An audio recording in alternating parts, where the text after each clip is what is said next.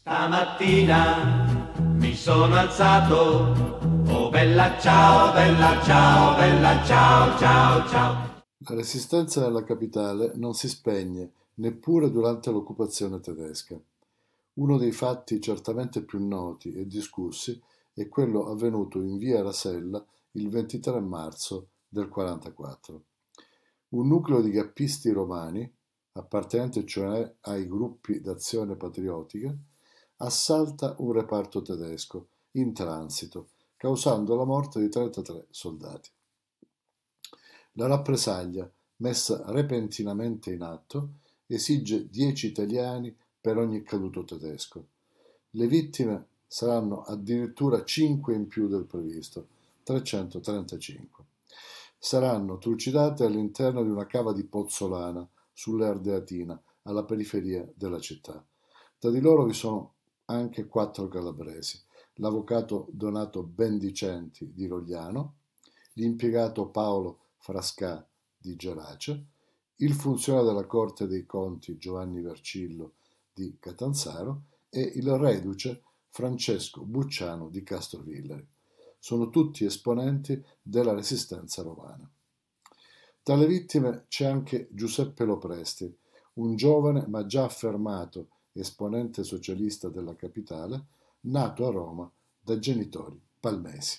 Alla medesima organizzazione dei GAP, promossi dalle Brigate Garibaldi per le azioni di guerriglia urbana, fanno riferimento molti altri calabresi.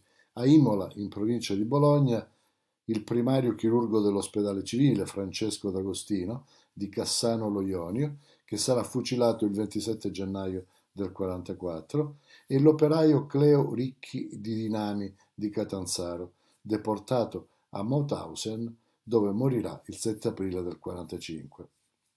A Bologna ne fanno parte il medico e industriale chimico Biagio Molina di Tropea, trucidato nei pressi di Forlì il 26 luglio del 44, e l'agente di polizia Alfonso Nicotera di Santa Severina, fucilato il 20 ottobre 1944. Tornando alla capitale, l'attacco finale degli alleati ha inizio quando Radio Londra trasmette il messaggio convenuto che contiene la parola elefante. È il 2 giugno 1944. Il giorno dopo i tedeschi fuggono da Roma non senza lasciare alle loro spalle una lunga scia di sangue. Sei prigionieri vengono fucilati sugli spalti di Forte Bravetta. Due di questi sono calabresi, il carabiniere Fortunato Caccamo di Gallina e il poliziotto Giovanni Lupis di Reggio. Entrambi avevano partecipato alla difesa della capitale subito dopo l'8 settembre. Le avanguardie alleate, soldati canadesi ai quali si sono uniti i partigiani di bandiera rossa, entrano a Roma all'alba del 4 giugno. Nelle stesse ore gli ultimi tedeschi lasciano la città e via Tasso in particolare, sede dell'SS, portando via 14 prigionieri che verranno poco dopo trucidati lungo la via Cassia. Tra di essi è il sindacalista socialista Bruno Buozzi. Nella vicina Umbria, vittime dei rastellamenti tedeschi sono il carabiniere Pietro Filice di Pedace e lo studente Pietro Corsaro di Reggio. Filice è arrestato il 27 marzo a Costacciaro e trasferito a Perugia dove viene fucilato insieme ad altri giovani nei pressi del cimitero di Ponte della Pietra. Corsaro, che è sfollato con la famiglia Nocera Umbra, frequenta l'azione cattolica di Foligno, una fucina di resistenti umbri. Si unisce a loro a Mosciano, dove la parrocchia di Don Alfonso Guerra è divenuta la base partigiana del battaglione, del battaglione Mameli. Ai primi di aprile, in vista di un probabile attacco tedesco, il battaglione decide il, il trasferimento a Colle Croce, a circa mille metri di altezza. Ma è una scelta sbagliata, perché il 16 aprile i tedeschi ar- arrivano in forza e sorprendono gli uomini del Mameli. Corsaro è colpito mentre alla guida di un gruppo di ex prigionieri montenegrini tenta di mettersi e di metterli in salvo lungo il sentiero che porta al monte Pennino. Nelle Marche i primi partigiani si riuniscono nell'area del monte San Vicino, al confine tra le province di Ancona e di Macerata, attorno al tenente di complemento Mario Batà di Roma e a eh, Mario De Panger, un comunista istriano. Con quest'ultimo è Giuseppe Pace di Petiglia, di Petiglia Policastro, che troverà la morte il 24 marzo a Chigiano, al termine di una furibonda battaglia che il comandante De Panger è costretto a ingaggiare contro una preponderante forza nemica.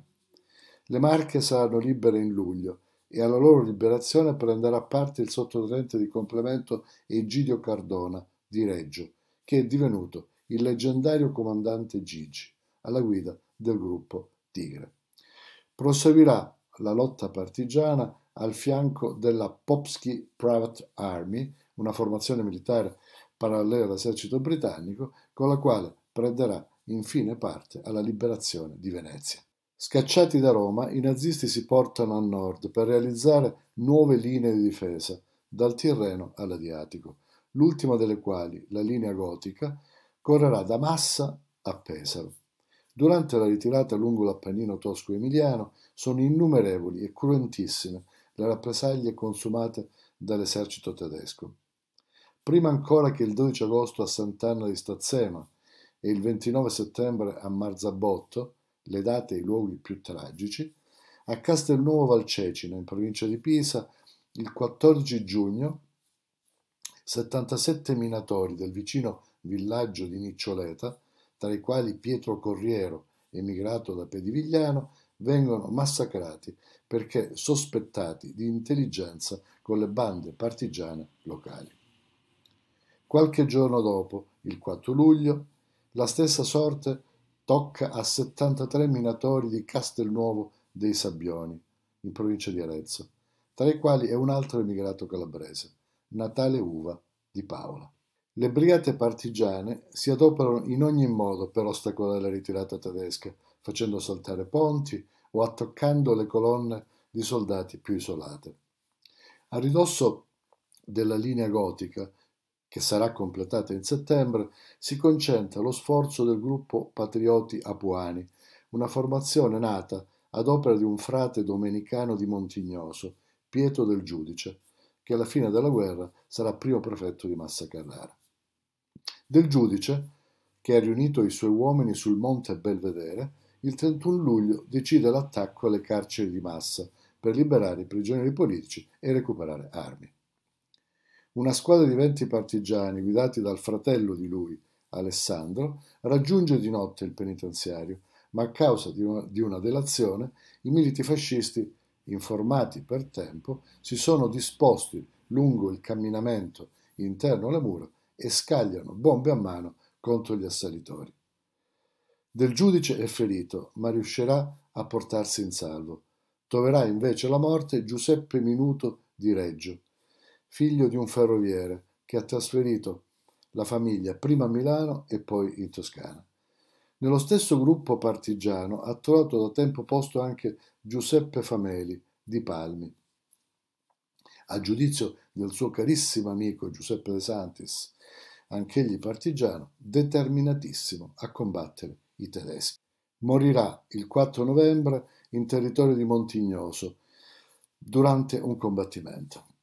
A fianco dei patrioti apuani è disposta una formazione garibaldina, la quarta brigata apuana, nella quale milita Franco Crimeni di Reggio.